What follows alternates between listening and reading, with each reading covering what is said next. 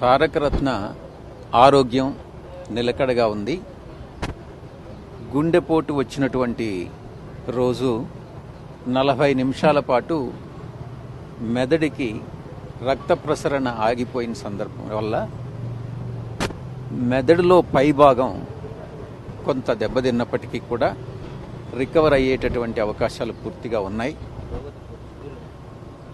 గుండెకు సంబంధించి అన్ని అన్ని అన్ని రకాలుగా ఈరోజు చాలా పర్ఫెక్ట్గా ఉంది. హార్ట్ పర్ఫెక్ట్గా ఫంక్షన్ చేస్తూ ఉంది. రక్త ప్రసరణ చాలా బాగుంది. హార్ట్ ఎలిమెంట్స్ ఈరోజు ఏమీ లేవని చెప్పొచ్చు. కానీ నలభై ఐదు నిమిషాల పాటు ఆ రోజు రక్త ప్రసరణ మెదడుకి ఆగిపోయిన సందర్భంగా మెదడులో కొన్ని ఆ పై భాగం దెబ్బతిన్నటువంటి నేపథ్యంలో దాని సైడ్ ఎఫెక్ట్స్లో కొంతవరకు కొన్ని లివర్ కానీ మిగతా కొన్ని ఆర్గాన్స్ కానీ కొంత వాటిల్లో యాక్టివిటీ తగ్గిందని నేను చెప్పి చెప్పుకోవచ్చు.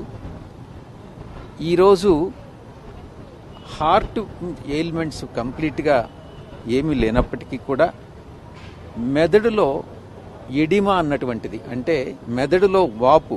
ఆ వాపు అన్నటువంటిది మెదడులో వాటర్ ఫామ్ అయ్యి ఏదైతే రక్త ప్రసరణ నిలిచిన తర్వాత వాటర్ ఫామ్ అయి వాటర్ ఫామ్ వల్ల అది స్వెల్లింగ్ అన్నటువంటిది వచ్చింది. ఆ స్వెల్లింగ్ వల్ల ఈరోజు మెదడుకు సంబంధించినటువంటి ప్రాబ్లమ్స్ బ్రెయిన్కి సంబంధించినటువంటి ప్రాబ్లమ్స్ వస్తూ ఉన్నాయి.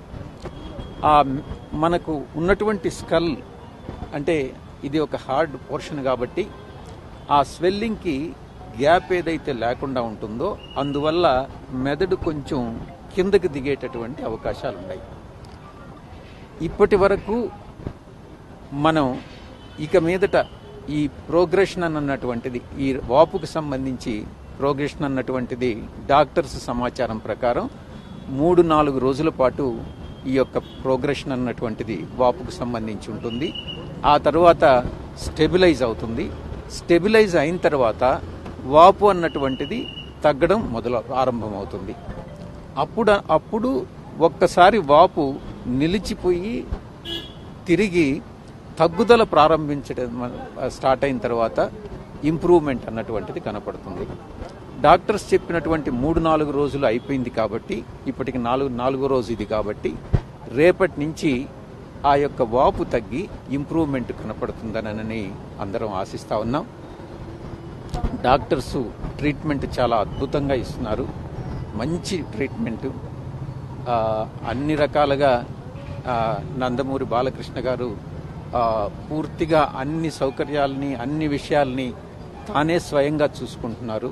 నిజంగా ఆయనకు కృతజ్ఞతలు తెలియజేసుకుంటున్నాను.